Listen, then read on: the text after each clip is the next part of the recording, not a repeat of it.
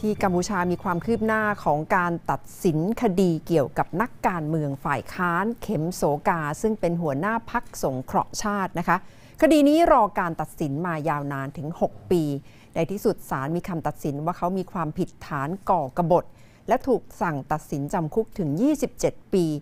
ในเรื่องของจังหวะเวลาถูกจับตามองอย่างมากนะคะ เพราะว่าเป็นการตัดสินก่อนหน้าที่จะมีการเลือกตั้ง ซึ่งแสดงถึงกลยุทธ์ของนายกรัฐมนตรีฮุนเซน และการครองอำนาจอย่างต่อเนื่องของตระกูลหุนได้เป็นอย่างดีค่ะ ติดตามรายงานของคุณชลันทรโยธาสมุทรค่ะศาลกัมพูชา มีคำตัดสินให้เกิมสกา อดีตหัวหน้าพักสงเคราะห์ชาติหรือ CRPN มีความผิดในข้อหากบฏ โทษจำคุก 27 ปี โดยให้กักบริเวณในบ้านแทน รวมถึงห้ามเข้าไปมีบทบาททางการเมือง และไม่สามารถใช้สิทธิ์เลือกตั้ง โดยไม่มีกำหนด ทีมทนายความของเกิมสกกากล่าวกับผู้สื่อข่าวหลังคำตัดสินของศาลว่าจะยื่นอุทธรณ์ต่อคำตัดสิน W. Patrick Murphy เอกอัครราชทูตสหรัฐประจำกัมพูชา ได้ร่วมฟังคำตัดสิน ระบุว่าคดีนี้เป็นความผิดพลาดของระบบยุติธรรม พร้อมเรียกร้องเจ้าหน้าที่เปิดทางให้ชาวกัมพูชา สามารถเข้าถึงสิทธิมนุษยชนสากล ในการชุมนุมอย่างสงบ และเสรีภาพในการแสดงออก ใน 5 เดือนข้างหน้า กัมพูชาจะเดินหน้าเข้าสู่การเลือกตั้ง ตั้งแต่ต้นปีที่ผ่านมาเห็นการดำเนินคดีหมิ่นประมาทต่อนักการเมืองฝ่ายค้าน ไปจนถึงคำสั่งปิดสื่ออิสระ ที่นักวิจารณ์มองว่าเป็นการกลุยทางเพื่อเตรียมพร้อมสำหรับการเลือกตั้งที่จะมีขึ้นในเดือนกรกฎาคมนี้ ขณะที่ผู้เชี่ยวชาญประวัติศาสตร์กัมพูชาและเอเชียตะวันออกเฉียงใต้ มองว่าแม้จะเป็นการเดินเกมคุมการเลือกตั้ง แต่ไม่น่าจะไปไกลถึงการจัดเลือกตั้งแบบพักเดียวอย่างในอดีต ผมยังคิดว่าคุณเซนอาจจะปล่อยให้มีพรรคฝ่ายค้านอยู่ใช่ไหมเพราะว่าคือเขาต้องการเลือกตั้ง แต่เป็นการเลือกตั้งแบบที่อพอที่จะคาดการผลได้ แต่ไม่ใช่การเลือกตั้งแบบที่มีพรรคเดียว คือผลการเลือกตั้งอาจจะเป็นผลการเลือกตั้งที่พรรคการเมืองเดียวที่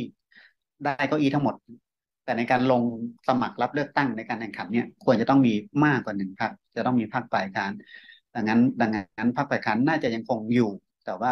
คุณเซนควรจะต้องจัดการให้อยู่ในระดับที่มันไม่ไม่ไม่คุกคามต่ออำนาจของตัวเอง กันยายนปี 2017 เกิมศกกาอดีตหัวหน้าพักสงเคราะห์ชาติพักฝ่ายค้านที่เคยเป็นคู่แข่งทางการเมืองคนสำคัญของรัฐบาล ถูกจับกลุ่มกลางดึก โดยไม่มีหมายจับ ข้อหาสมรู้ร่วมคิดกับต่างชาติเพื่อก่อกบฏคลิปวิดีโอเก่าที่ถูกบันทึกตั้งแต่ปี 2013 เมื่อเกิมศกกา กล่าวต่อสาธารณะที่ออสเตรเลีย ถึงแนวทางและกลยุทธ์ที่จะเปลี่ยนผ่านการเมืองกัมพูชาสู่ประชาธิปไตย ด้วยความช่วยเหลือจากผู้เชี่ยวชาญของสหรัฐ ถูกนำไปใช้ในศาลและโดยนายกรัฐมนตรีฮุนเซน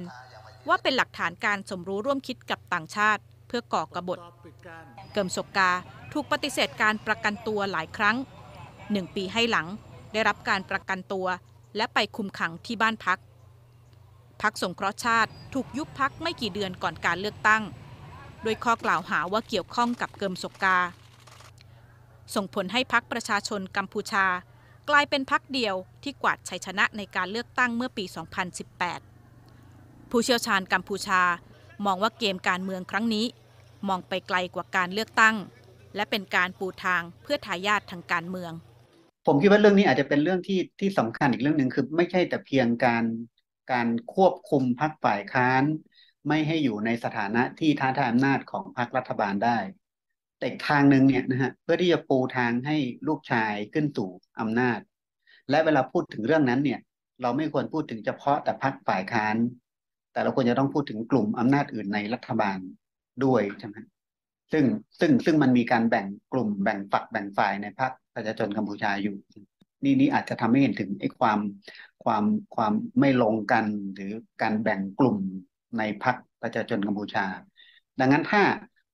ผลการเลือกตั้ง มันออกมาแล้วมัน มันมันไม่เป็นไปในทางที่มันมันควรจะเป็นคือพรรคประชาชนกัมพูชาได้เสียงข้างมาก แบบที่มันเคยเป็นมาในช่วงเลือกตั้งสองครั้งสองครั้งที่ผ่านมาเนี่ย มันอาจจะไม่ได้กระทบเฉพาะแต่คุณเซนแต่มันกระทบต่อตัวหุ้นมันเน็ตด้วยคำตัดสินของเกิมศกกาดูจะไม่เหนือความคาดหมาย ขณะที่ผู้สนับสนุน และหน่วยงานด้านสิทธิมนุษยชนระหว่างประเทศ ประนามว่านี่เป็นการแสดงให้เห็นถึงความไม่เป็นอิสระของระบบยุติธรรม และปัญหาระบอบประชาธิปไตยของกัมพูชาชลันทรโยธาสมุทรไทย PBS รายงาน